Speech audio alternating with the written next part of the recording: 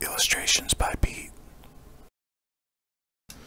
Hello everybody and welcome to another video. This is going to be a little bit more lighthearted. Uh, oh, hopefully you could tell that from the title.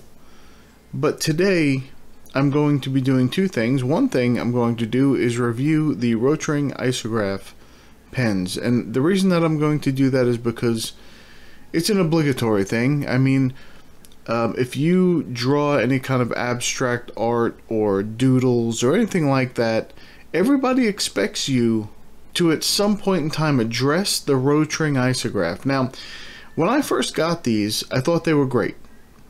I would use them quite a bit. It, it was a, a fun experience. They, they do make you want to doodle a little bit, but there are some positives and negatives about this pen.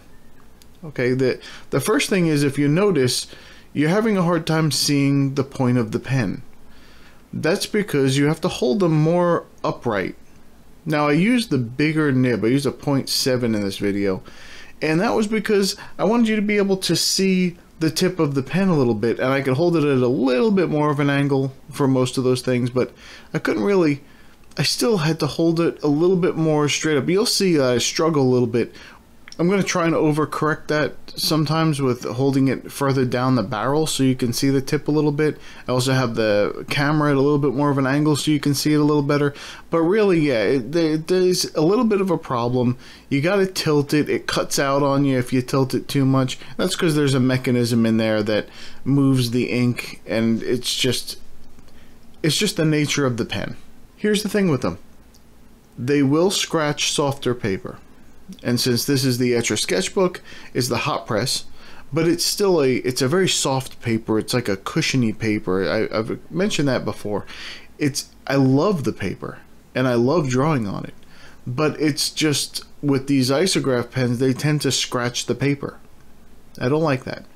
So I try not to draw with them on this, and since this is what I usually draw on, that poses a little bit of a problem to me. Now, if I'm going to draw on like a Strathmore mixed media paper or something like that, you can use them and they'll, they'll be okay. They'll scratch it a little bit less. They'll still scratch it, but just a little bit less than a soft paper like this. Now, what I prefer to do is use like a regular fine liner. I enjoy fine liners. Regular fine. Now, I know that the argument here would be that yes, but the fine liners you use up and then you throw away.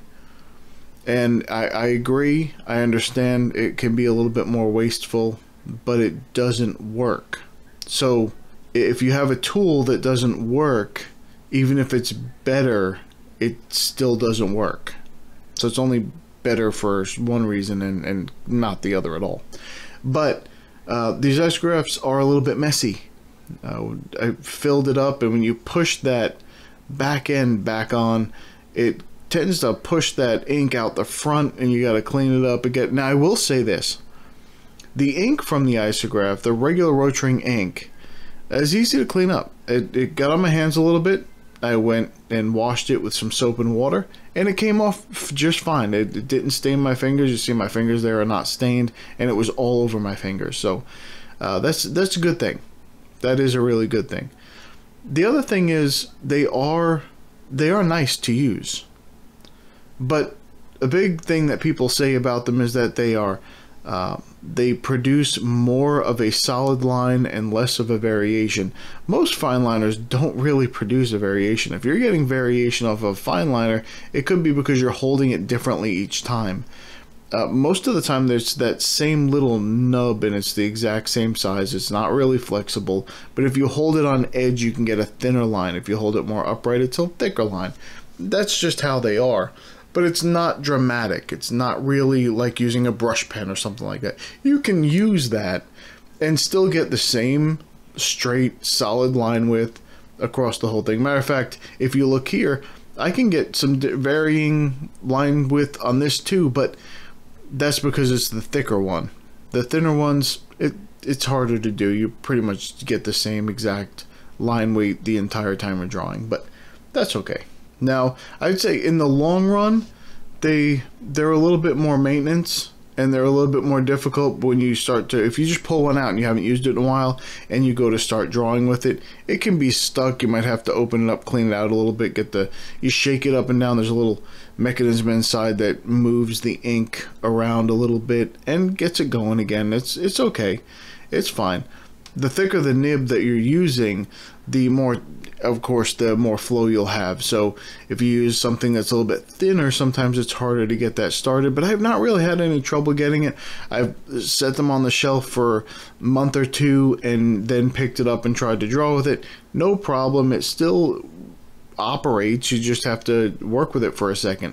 And once it starts flowing again everything's fine. All in all I really still like using the regular fine liners and um, fountain pens. I love drawing with fountain pens. It's probably my favorite thing to draw with. The only thing there is that most of those inks are, are water soluble and so they dissolve if you put anything over them, which I like to do. Okay, so now I want to talk to you about something else. Do you understand how space toilets work? Basically, they just eject everything out into space. It's like we're using space as our cesspool. We're just sending it out there. But here's the thing that puzzles me. After we do this over and over and over, we then have someone somewhere who says they found something on an asteroid or something like that and just some space debris or sometimes on a planet and they say, oh, look, there could be evidence of organic material on this planet or on this asteroid. Of course there is. It just went through our poop belt. It, you know, it just it just got our that stuff got there. And so what they're doing is they're finding stuff that we've left behind and then they they're all surprised like like hey, they just found this huge discovery. It's not really a discovery. You just found a, a single cell organism from someone's intestines that you know hit an asteroid or something. That this isn't a, a, huge thing. So every time i'm not saying i'm not saying that they there can't be something found on another planet. What i'm saying is these people i don't know if they're ruling anything out. You know i don't know if they're saying hey look we found this this stuff over here and they're not understanding that it could come from us. We send a lot of stuff up up there, and some of that stuff just gets kind of shot out into the middle of nowhere, and sometimes it could hit something, and that thing could be on its way to us, and then we find it, and we think we made a discovery. Is everyone following what I'm saying here? I, I don't think it was a discovery. Was like we put something somewhere and then said, oh, look, we found something. You just put it there. Anyway, I hope these brilliant minds are taking this into consideration when they say that they find stuff and they get people all in an uproar and they say, oh, look, we found this stuff, we found this stuff. I think I've seen probably four or five different articles over the last year of people claiming that they might have found something, uh, some organic material or, or a sing- remnant of a single cell organism or something. And it always ends up being not true. It, they're just trying to sell interest in whatever whatever company they're writing the article for, and they just want to more people that they can get to look at that thing, the more ads they can put on it, and the more money they can make. So they're just kind of selling something, but people get excited about it, and and then they turn around is oh it ended up it was something else. It was it was not real. Maybe maybe they should really understand what they find before they tell people about it because people get excited sometimes and people get quite into whatever they're doing and you know you don't especially eh, that's their interest that's their what they're interested in and then someone says hey we might have found something people get all crazy and really you know it was like a you know piece of corn or something whatever anyway this drawing was inspired by that because what I pictured is what if we found something on another planet that actually could not have just been something, you know, that was shot out of a space toilet? What if they found something on another planet that was actually interesting and maybe uh, you could tell someone had actually constructed something and so That's what I did here in this drawing. I I, I, I said if if there was another planet and they showed up and this was on it, now that could be a discovery. They could say, "Hey, look at we don't know what this weird thing is. We don't know what it represents. We don't know who made it, but look at this thing. This is something that was not shot out of a space toilet. At least I don't think so." And you know what else I love? I love when people give you advice, but they don't understand what they're giving you advice about. And I talk about advice a lot. I know I do, but that's only because there are so many people. There are so many incompetent people who try to give you advice without knowing anything about what you're doing. So, someone gave me advice recently and they said, hey, you, you know, you, you do a lot better with these videos um, and get more, more time people watching them if you made them cleaner. Uh, so, what do you mean cleaner? I, I don't curse through my videos or anything like that. They said, no, no, no, no. That's not what I mean. What I mean is, you want them to be smooth. You want to remove any rambling that interferes with your main topic. But I, I kind of looked at them dumbfounded.